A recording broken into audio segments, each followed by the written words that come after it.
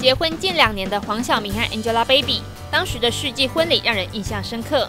婚后一年传出怀孕，十七日凌晨，Angelababy 在香港产下儿子，重两千九百五十公克。老公黄晓明和家人全程陪产。经纪人透露，baby 是自然产，母子均安，正在休养。根据苹果日报报道，黄晓明夫妇将儿子的乳名取作小海绵，因为 Angelababy 曾表示，海绵蛋糕和小明大哥的粤语发音相似。两人就被昵称为“海绵夫妇”。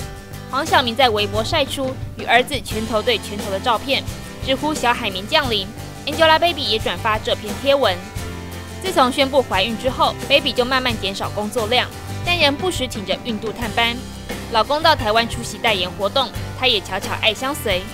黄晓明先前受访时就霸气放话，已经做好当爸爸的准备，不会只生一胎。Baby 也说，头一胎是男是女都无所谓，打算生好几个。如今升格为人父人母，从此一加一等于三，携手步入人生的下一阶段。